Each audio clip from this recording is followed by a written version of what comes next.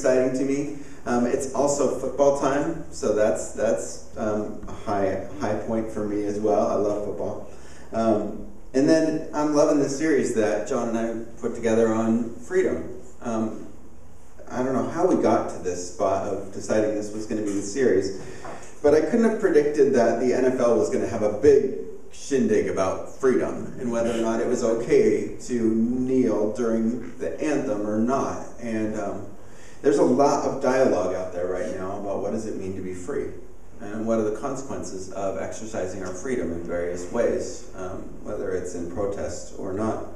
Um, and uh, and how does freedom balance with, with patriotism and, and um, when is it okay to make free choices and, and what are the consequences of them and um, that is, is something that scripture has a lot to say about and uh, romans 6 is what we're going to get into today romans 6 19 through 23 um, if you want to start flipping to it in your bible has, has some stuff to say about freedom and, and what's a result of freedom um, but i want to start with a question and the question is, uh, what would you do if you had a day where you could go anywhere and do anything? Just anything. Um, is that a relaxing, nice thought to you? Sounds pretty good to me. Um, I was thinking about this, and, and I would be at Seahawks Stadium, and I would have like maybe a half dozen, maybe a full dozen uh, donuts, and it would be maple bars with bacon crumbled on top. So um, we'll see if I can make that happen. Like I, I, could, if I really, really have my heart set on this is my highest thing of a day, I could probably make this happen if I really made a stretch. But there would probably be some consequences to it. Um, might not be pretty later, but. Um, we have amazing freedom and choices. Um, and, it's, and it's built into us. God has given us uh, free will. It's an amazing thing to think. God had a perfect world going, and then He made us in His image, and part of it was going, you know what, you guys get to make choices, even if it's going to blow this whole thing up. Uh, and we get to make all sorts of choices, and we get lots of free will to do it with. Um, and God doesn't make us do anything. Um, it's a really loving thing to say you get to choose um, and to not force something down our throats. If any of you ever grew up in the church with something being shoved down your throat, it's a little rough. Um, and the devil is known as the accuser, the tempter. He can uh, incite all sorts of thoughts, but he doesn't make us do anything either. In our family systems that we grew up in might make a groove or a uh, something that feels natural to us, but it doesn't make us. We can make some choices there. And we have all kinds of freedom um, to make choices. And, and the gift of free will is, is a gift of freedom.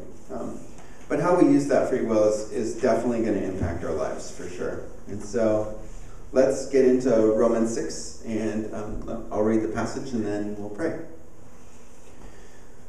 Just as you used to offer yourselves as slaves to impurity and to ever increasing wickedness, so now offer yourselves as slaves to righteousness, leading to holiness. When you were slaves to sin, you were free from the control of righteousness. What benefit did you reap at that time from the things that you are now ashamed of? Those things resulted in death. But now that you have been set free from sin, have become slaves of God, the benefit you reap leads to holiness, and the result is eternal life. For the wages of sin is death, but the gift of God is eternal life in Christ Jesus our Lord. Let's pray. God, thank you for this gift of choice, gift of, of, of free will, and um, of how we can shape our lives and how we get to choose our directions. And I pray that you would speak to us, that you would meet us where we're at, that you would um, encounter us in our lives during this time, and that you would plant some seeds of, of freedom in our hearts, in our lives during these next few moments that we give to you. We do love you, Lord. Amen. Um, as I said, our choices lead to something. And the Bible assumes free will. Um, it, assumes that we get choices. And um, those choices will lead to something. And, and all of us uh, know this. It's not a hard concept. I mean, if, if we invest a lot in our garden, uh, it's fall, there seems to be a lot of gardening to be done. Uh, if we invest a lot in our garden, we will have a lovely garden to be in. Uh, if we uh, invest in maple bars that are covered in bacon, uh, our mouths will be quite happy, um, but perhaps other parts of us not so much. Uh, the principle is pretty simple, and it, and it, goes into all sorts of areas. Um, there's also the fact that what we invest in will shape our lives. Um, it, it, it, impacts us. And if we um, invest our time and our energy and our attention in something, it's going to change us along the way. And this is uh, no more visible than in a dating relationship. Somebody all of a sudden begins to pay a lot of attention to something or to, or to someone in particular, and suddenly their habits change. Uh, they start dressing a little bit different and spending a whole lot more time getting ready for that and thinking about what they will be doing when they get to get together with this person. And all of their attention and energy is focused on this one person. And it can radically change how they act um, and how they live. I was a youth pastor for a while and I watched like 16 year old boys who didn't care at all about how they looked or how they smelled or what they did until they met someone. And all of a sudden, wow, not a hair out of place. Is that your third shower today? Wow, that's impressive. Um, just decided to take on hygiene, I guess. Uh, no, there was something behind that, an object of their attention and affection. Um, it, it's true with all sorts of things, with neutral things. Like, uh, I have friends who have uh, gotten into board games. We, Christina and I, have sort of gotten into board games. I think we have about 50 board games, which is a little crazy, but um, we have friends that have like hundreds. And as I watch them go down the rabbit hole of board games, like they're suddenly talking mostly about board games, and they spend their weekends at like board game conventions. And um, like this is what they think about. If if uh, we focus on binge watching Netflix, uh, then that show is what we have to think about and what we're thinking about, even while we're doing other things. Um, for me, that happens with football right now. Uh, much to Christina's non delight, I'm uh-huh. afraid. Um, suddenly, everything is about football. And I, I, have to admit, on the way here, I was thinking, should the Seahawks perhaps switch from a run offense to a pass offense? Because it seems to be working better. I'm going, I'm on my way to church. What is going on here? This thing that I thought uh, was that I made a choice about suddenly began to choose me. Like, it, it owns me in some ways. Um, I have to I have to do another confession. Uh, I love video games, and Madden football combines the NFL and video games, so it sort of takes over my life. Uh, I, I decided I wasn't going to do fantasy football because that took over too much of my life. So, but I still have this going on, and um, and my niece the other day, 18 year old niece, goes, is this helping your life or hurting it more? She's like my pastor right now. Um, think life is, a, is, is like a bunch of coins that we get a roll of, of our time and in our attention and our energy. We only get so much. Um, and where we spend it is where we're going to be invested. And, and what we invest in begins to shape our lives. Um, what are we investing our lives in? And I think that might be one of the reasons why Paul um, summed up his letter to the Philippians um, with this phrase. It's Philippians 4 8. It's a great one, but I want to get it right. So um, he said, Finally, brothers and sisters, whatever is true, whatever is noble, whatever is right, whatever is pure, whatever is lovely, whatever is admirable, if anything is excellent or praiseworthy, think about these things. Just spend your time thinking about these things because what we think about will shape us. Um, the spirituality of it is that we are people who are made to worship, and we're going to worship. Um, and, and worship is quite literally not just singing a bunch of words to nice music like we did earlier. Um, it is lifting up something as worthy of our attention and worthy of our adoration and worth um, putting our importance on. I, I, I had a pastor um, friend of mine when I was brand new Christian, and it stuck with me. He, he said, We all kind of have a throne in our hearts. Um, we have a throne in our hearts, and something is going to sit on that throne. Um, and what are we going to put on it? Because what we put on it is going to impact us a great deal. As I've kind of uh, processed that more and more, I think it's, it functions much more like a royal court.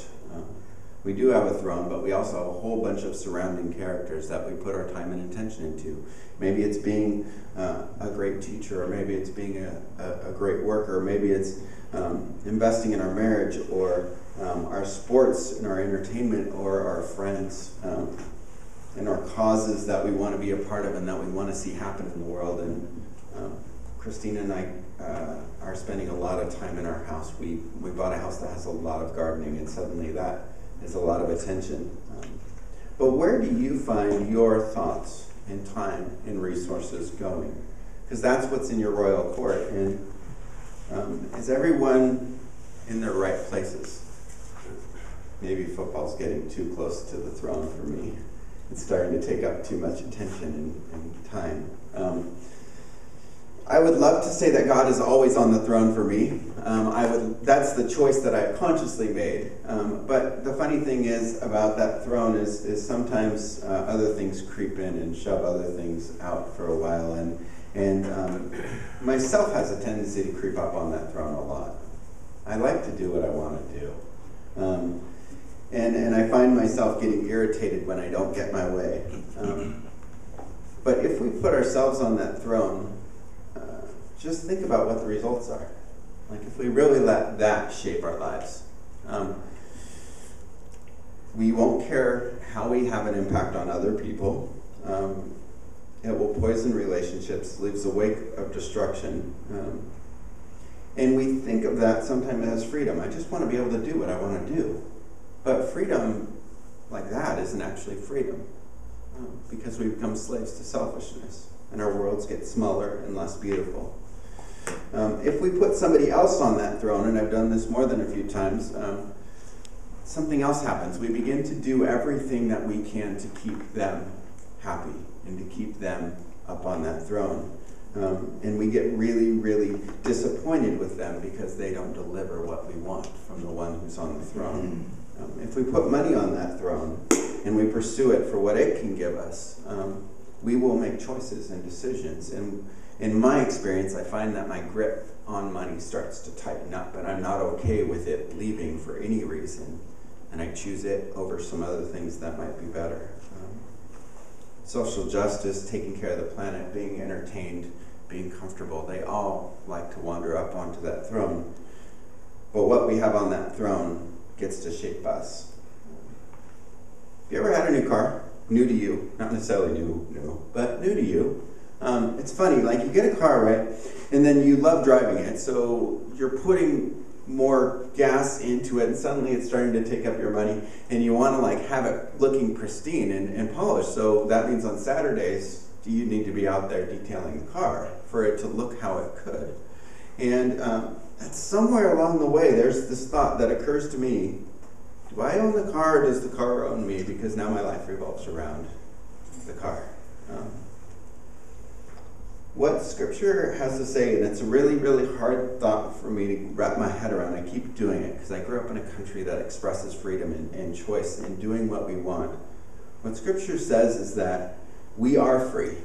We're free to make choices, but what we choose, we will get enslaved to.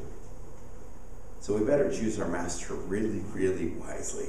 Um, and this is what Paul says. He says, if, if you give your lives to sin, if you give your lives to something that is contrary to God's will in your life, you'll be not influenced as much by God.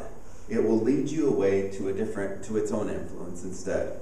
Um, it'll lead us away from God, and God is the giver of life. And the, and the further we get away from God, the less alive we are.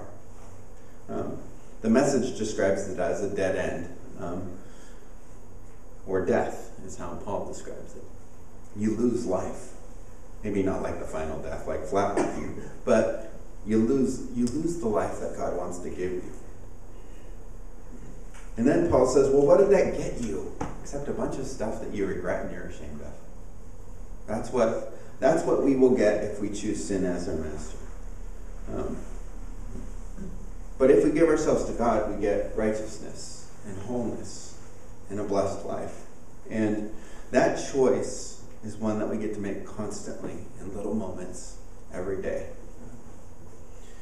My wife is brilliant, as any of you who have met her know. Um, she has an incredible ability to look at large systems. She can see something that has a thousand details, keep track of them all. But one of the things that she does incredibly well is to see what's missing that could be there. It's, it's a tremendous gift to anybody who gets to work with her. Um, she can see what's not there. And, um, and then it bugs her, and then she needs to put it there, and then things run better. Um, I have benefited from this a great deal. I get to live life with somebody who sees where the gaps are and helps fill them in. Um, the, the tricky part for her is that that means she goes through life looking and going, well, that could be better. That's not there. Uh, that's a gap.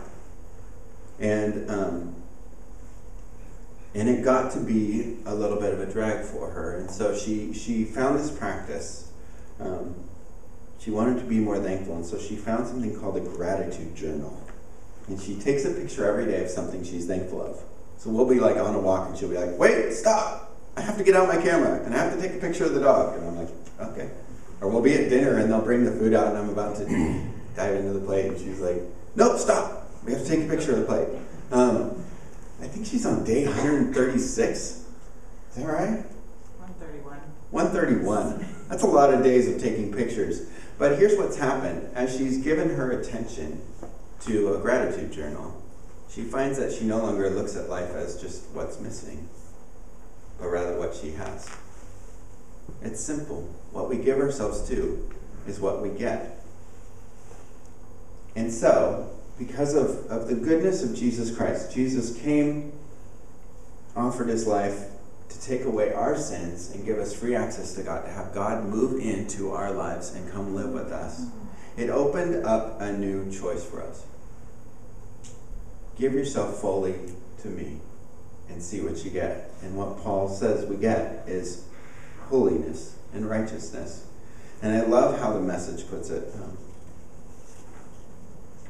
whole, healed, put together living. Eternal life, life that's right now, but there's a promise of fuller, richer, and better life that won't ever end ahead. That's what God gives us when we choose Him as our master. Lately, I um, have hit some tough days and I've gotten a little bit discouraged, but in the midst of that, I ran across one of my old favorite books, and it's a Celtic daily devotional that I do. And I can literally know that going into this,